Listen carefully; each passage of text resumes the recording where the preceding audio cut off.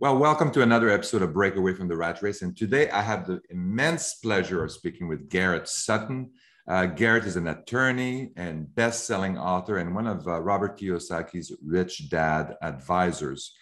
Garrett has over 35 years of experience assisting individuals, businesses to limit their liability, protect their asset, implement advantageous corporate structures, advance their financial goals, and tax strategies and all of that. Is uh, I, am a big fan of of Garrett. I, have read a couple of his books, and they're always fantastic and so resourceful. Uh, and we're going to get right into it. So, Garrett, welcome to the show. Thanks, Eric. Thanks for having me. So I'm I'm very excited to have you and be able to speak with you. My favorite book and uh, that the one that I've you know that I refer to on a regular basis is Loopholes of Real Estate. I think this is this is a must-have if you don't have that book already, if you haven't read it. I think this is absolutely important that that you read it. And uh, and what's great about it is that it kind of like combines everything. It talks about tax strategies. It talks about legal uh, legal strategies to protect your asset, to uh, you know, to to create the right structure and all of that, and uh, and also tax strategies, which is also very important. Well, and uh, you know, people do like the loopholes book because, like you say, Eric, it brings together information that investors really need to know about. Um, you know, when you start out, you don't know anything. They don't teach anything in school, so you have to get this information on your own. And that's why I wrote Loopholes of Real Estate was to bring forward the the tax strategies, the legal strategies, the 1031 exchange, uh, people forget about transferring title and the right way to transfer title. So we talk about that in there uh, as well, Eric. Uh, so yeah, people do like the book for that reason. Yeah, and you're you're explaining it in such like easy layman's terms. I mean, this is like you know you could really bury anybody you want in te- terminology and technical aspects of things, but you really you're helping the, the the person that's just getting started kind of like get a hold of you know legal corporate structure and tax strategies and all of that and kind of like explaining that in layman's terms. That's what i really like about it. Well and i try to tell stories to explain the legal principles. You know people react to stories. They they can take in information through a story. And uh, so we try and write in clear english and and tell a story and then apply the legal principle to the story. Mm-hmm. yeah exactly uh, so you also talk about, um, I mean, you have other books as well, obviously, about kind of like getting the, uh, you're building your own corporation and all of that. So these are all, you know, very good, very good books as well. Uh, what I liked about that loopholes is that it kind of like was bringing these these two components together. That was very important when you get started. And when you talk, I mean, you still do you do consulting. You help. You, you're very involved in helping uh, investors get in on the uh, in real estate and investing in real estate the right way. Uh, so what, what do you see uh, investors that are getting started that are still that are not doing yet and you think they should be focusing on and they should be getting right right at the beginning? Well two things eric. One is you know we are a very litigious society. People sue each other all the time. And you've got to take steps right at the start to protect yourself. So you buy that first duplex, you can hold title in your individual name, but if a tenant sues, they can reach not only the equity in the duplex, but all your personal assets. All you have to do is uh, set up an LLC to take title to that property. If the tenant sues, they can get what's inside the LLC. So you're not going to put 10 properties in there but they can't get beyond the boundaries of the LLC. They can't go after your savings account, your personal assets. So we want to set that LLC uh, for real estate up right at the start. You know what happens is I, I hear it all the time, Eric, where a CPA says, "Well, you know, you're not making that much money now. You don't really need yeah. the LLC, but you do. Uh, mm-hmm. You know, you need it right at the start." Yeah. And then the second thing, Eric, that people forget to do is transfer title. So you've set up the LLC, you have to take the next step of transferring title from your name into the name of the LLC. If the title stays in your name, you still don't have any protection. So yeah. you're going to use a grant deed or a warranty deed mm. to transfer title from you to you, not a quit claim deed. A quit claim deed severs the title insurance. So you're going to use a the right deed and transfer title into the name of the LLC, and that gives you the protection.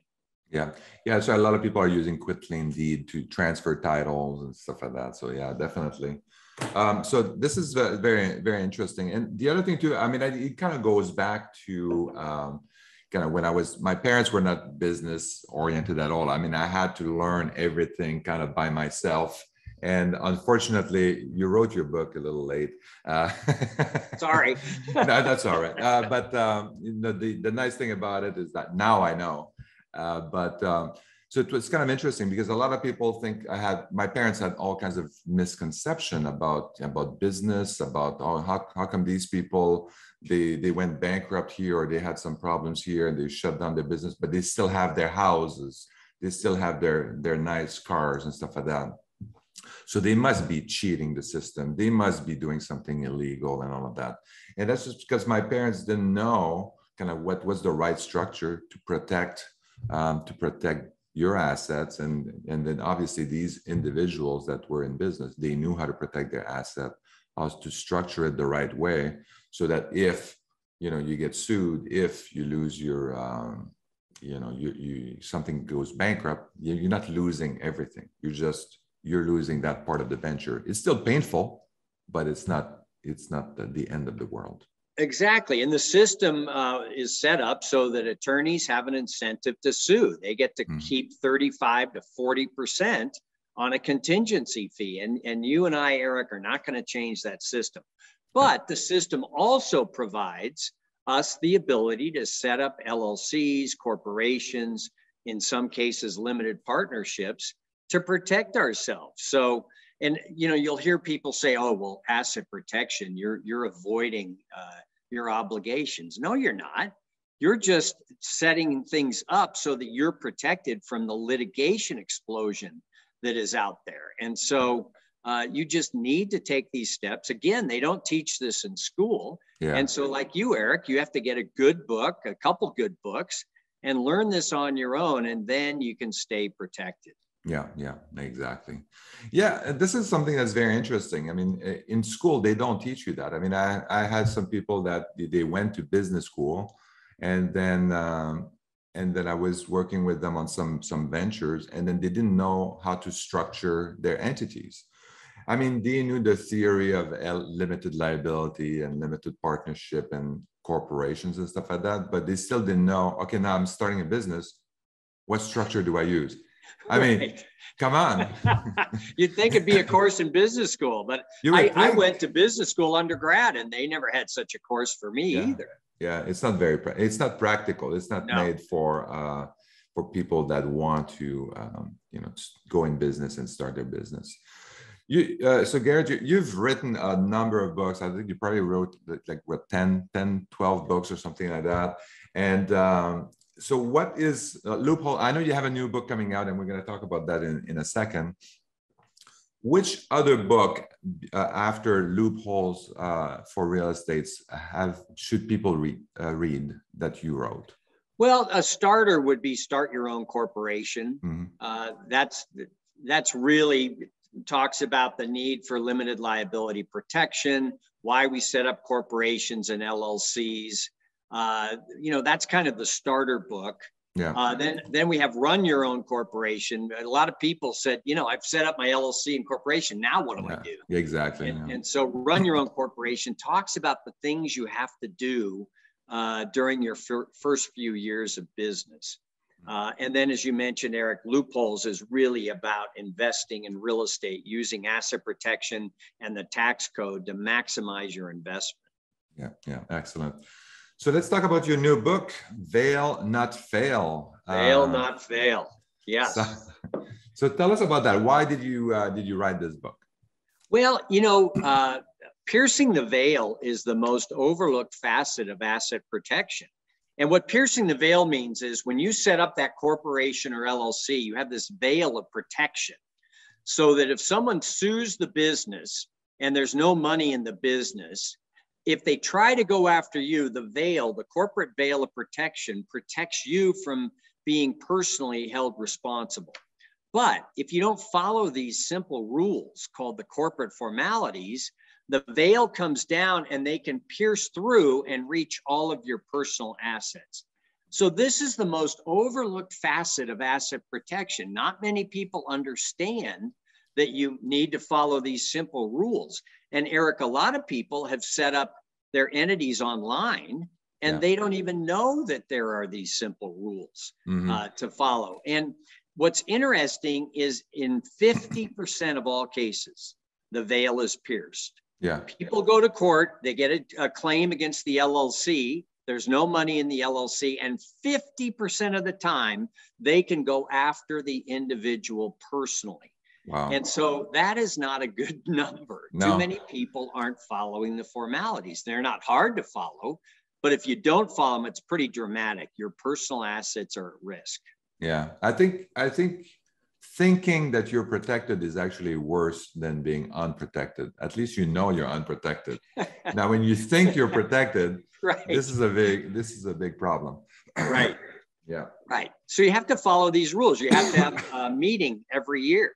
You mm-hmm. know, once a year you have the meeting, you jot down the what happened at the meeting. It's not hard to do. Uh, they, they're called meeting minutes, you know, mm-hmm. not meeting hours. You just yeah. write down what happened at the meeting.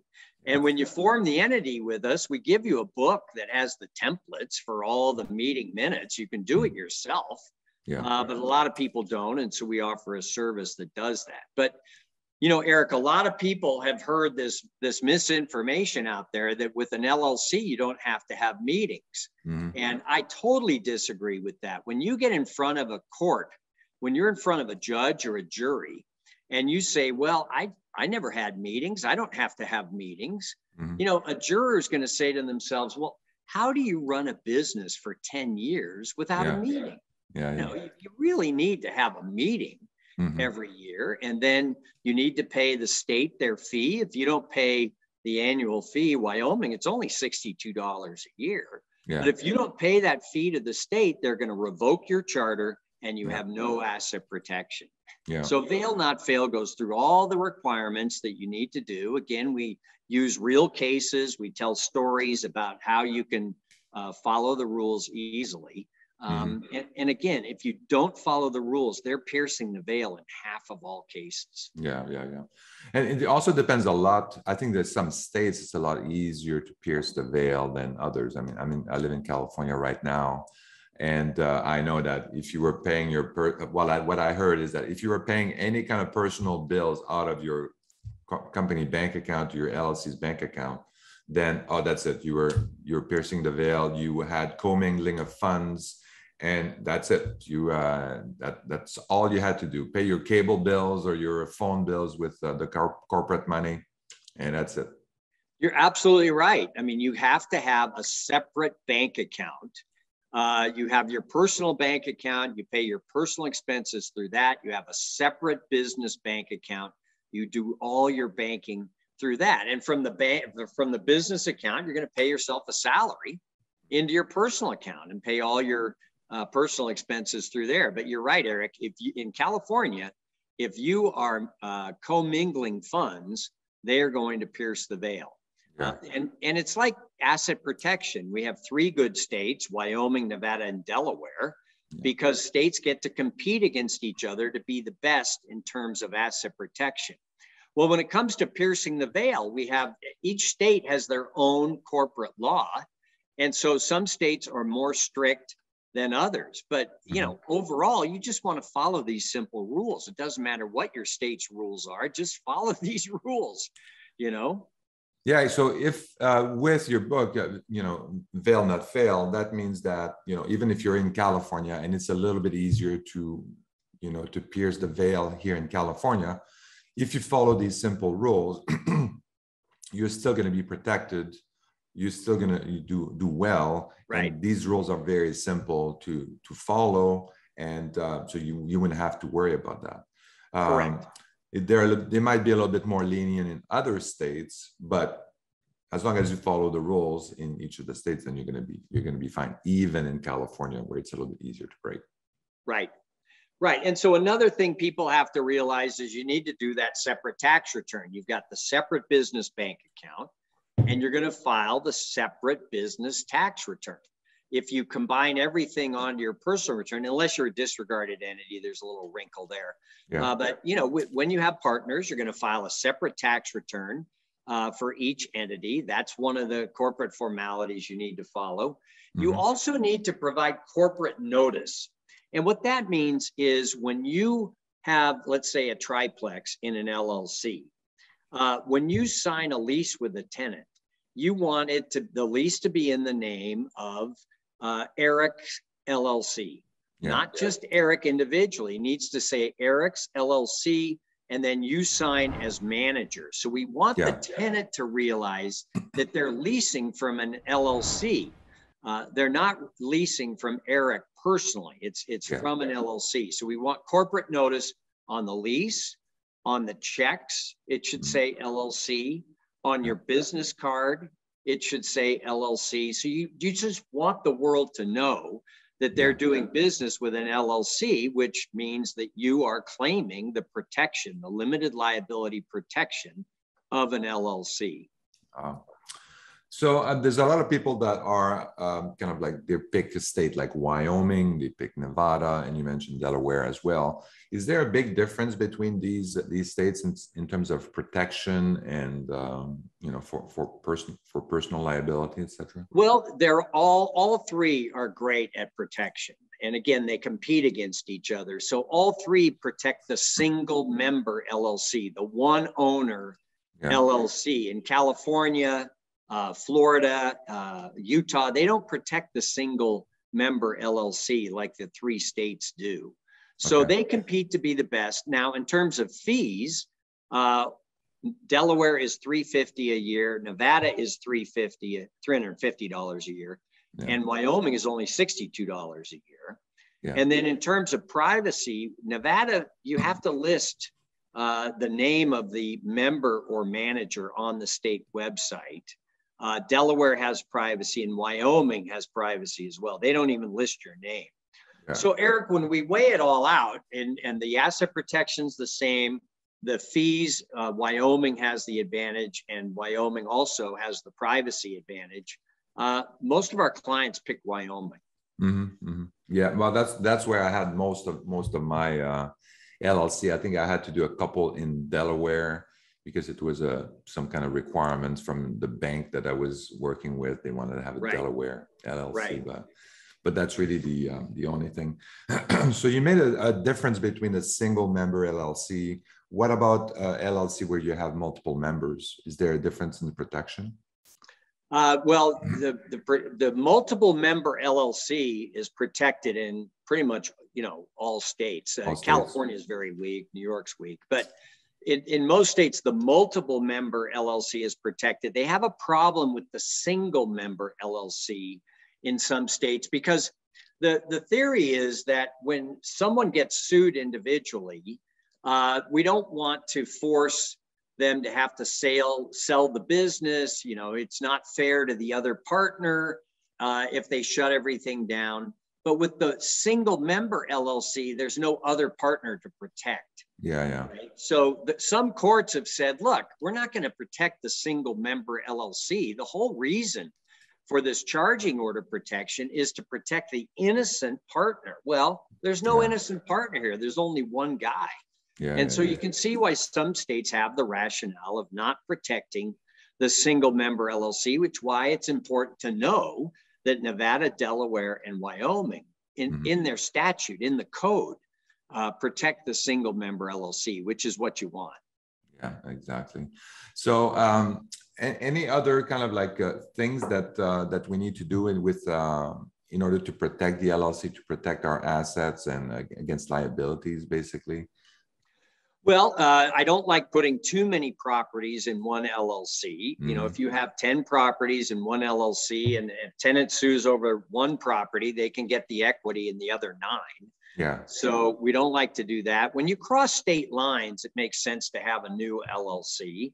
Mm-hmm. Uh, you know, if you're going to invest in Oregon and you buy a property in Washington, I think it's best to set up a Washington LLC for that new property uh, because you're governed by Washington law anyway.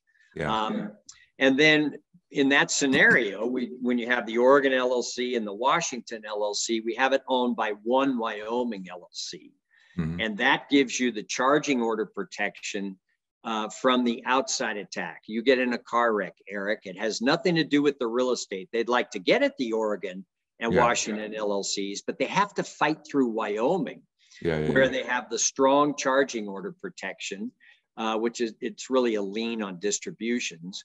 And you know, people just don't get through those Wyoming LLCs, um, and so it offers excellent protection. At the same time, we like for our clients to have insurance. Um, you know, an mm-hmm. umbrella policy of insurance with your personal home and your autos, an extra million dollars of coverage is only 400 a year. Mm-hmm. And the attorneys suing over the car wreck know how to get at that money, yeah. right? Yeah. And then if there's enough insurance money for them to reach, they leave you alone mm-hmm. on the Wyoming LLC. So that's how we like to structure everything. Yeah, yeah yeah often they would uh, they would know how much insurance liability is is there and then you know is it worth fighting for more than that when you can right. easily get the the insurance money so sometimes it's enough. So I, have set uh, so I, I do uh, I do business like say in, in, Tennessee in Michigan and all of that. And um, so all these LLCs that I, I have separate LLCs in uh, in the different states. And then but they all they have one single member which is the an llc in in wyoming. It all kind of goes to the wyoming one. And then it goes to and then it's owned by me in um, actually it's owned by an s corp in california right now which is where i am but that's so uh, my thinking is that you know if if something happens in tennessee they're going to have to fight through wyoming and then they're going to have to fight in california in in you know in, right. in order to get to me eventually so right yeah. So you know you've set it up so that you have the the uh, the Wyoming LLC is really difficult for people to get through. The mm-hmm. court in Wyoming gives you this charging order, which is a lien on distributions, meaning the car wreck victim can collect what you were going to collect. Well, you may not make any distributions yeah. out of that LLC. Uh, you may you know buy more property or you know do do other things with that money rather than distribute it out and we just don't see many cases uh, involving this because the attorneys they don't want to hire an attorney in wyoming to monitor distributions it's just yeah. not a good yeah. use of their time they'd rather go on to the next case with insurance and you yeah. know i would too if i were in their shoes yeah i want the easiest path towards the insurance money and then I'm not going to bother with Wyoming LLCs. It's, it's not a good use of their time. Yeah. What about foreign qualifications? So some of these, uh, some of the LLCs or some of the ways that I acquired property is actually through a foreign qualification. So I have my company in Wyoming, and I do a foreign qual. I'm foreign qualified, let's say in in Michigan, and then I, with that same entity, I am uh, I'm buying properties there do right. i have how, how protected am i uh, when i do it this way well on the inside attack where the tenant sues they can get what's inside that llc doesn't matter if it's wyoming or michigan okay. right? The the the the inside attack allows the tenant to get the equity in the llc again we're not going to put 10 properties in there. Um, so that's the inside attack. The outside attack is where Wyoming comes to into play to protect you, uh, mm. because they they need to they need to reach into the Wyoming LLC, and the rule in Wyoming is that the exclusive remedy is the charging order, which yeah. we mentioned is a mm-hmm. lien on distribution. So, um, you know, it's important to understand the difference between the inside attack, the rule is the same in all 50 states, mm-hmm. and the outside attack, where Nevada, Wyoming, and Delaware are the best. Mm-hmm. Oh, excellent. Excellent. Um, wow. So this is this is very insightful. Definitely, this is taking kind of like the loopholes of real estate to a to another another level. That's for sure. Um, so Uh, any uh, any other kind of like uh, so what, one of the things that you're doing with uh, you fail not fail is also some kind of uh, of free consulting or free uh, right. is that what you call it free consulting yeah our firm corporate direct uh, sets up and maintains llcs and corporations in all 50 states. And if you go to the corporatedirect.com website you can schedule a free 15 minute consultation uh, with one of our incorporating specialists and just see you know how we can help you what our fees are. They're very affordable mm-hmm. and we'll send you out a quote and you know just see if you like working with us mm-hmm. um, so we do provide this free 15 minute consultation uh, for people so they can they can see what they need to do next and okay. uh, you know it, it, it's just a lot of people come to us after they've read the book which is great because we don't have to explain yeah. that much. They already know that they need an LLC for holding real estate. That's right. Get the book, read the book, and then set up a call. That's for sure. And then that way you don't you make the best use of your 15 minutes with corporate direct. right. One thing that well, another book that you wrote, I haven't read it. I'm just looking at the, the title here is uh, Scam Proof Your Assets. Uh, so I'd like to know more about that because I've seen some things that were a little bit uh, disturbing um, for, with another investor, where basically uh, someone that was not authorized actually filed some kind of uh, resolution to move. They forged, of course, they had to forge some signatures, but they actually moved the LLC from one one place to another and took control of the LLC that way. Um, I also see some forgery in terms of uh, title, basically filing a quitclaim deed to get uh, basically have the title of the uh, of the property, which is like what nobody's checking anything. What's going right. on? Right. Well, I mean, the fraud that is out there, the scams that exist out there, Eric, are just, I mean, they're proliferating all the time. Yeah. And so I wrote the book to provide people with kind of a foundation uh, for the types of scams there are. Mm-hmm. Um, you know, I, I'd have to update it every three months. There's so many new scams oh, yeah. out there. So, you know, the basic thing is you can't trust people.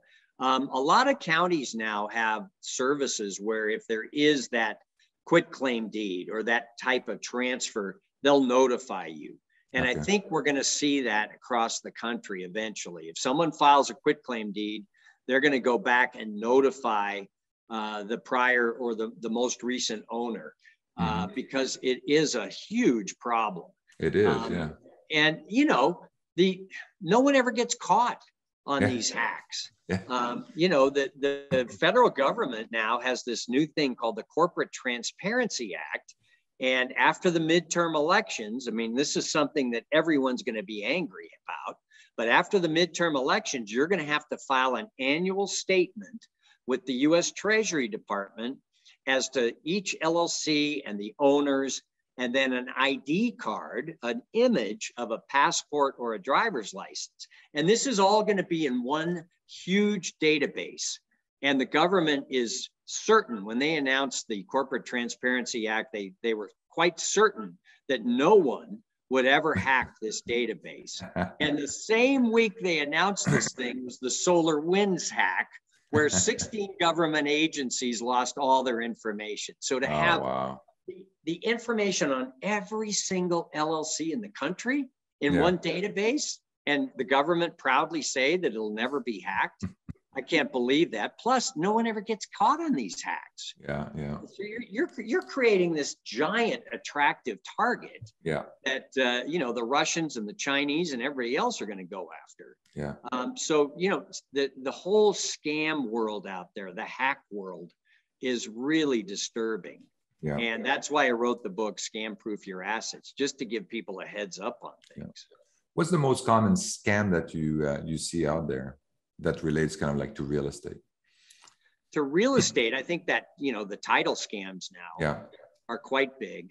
The other one is where people will find out that you're going to be wiring money. I don't know how they find oh, out. You're going to be yeah. wiring money into an escrow account, and they get in the middle and say, "Oh, we changed the coordinates." Yeah. and send the money over here. Well, when I buy real estate now, Eric, you know, typically it's in town here. I'll drive the check to the title company. I, oh, I'm, really? I'm not doing any electronic transfers uh, Wow. just to make sure.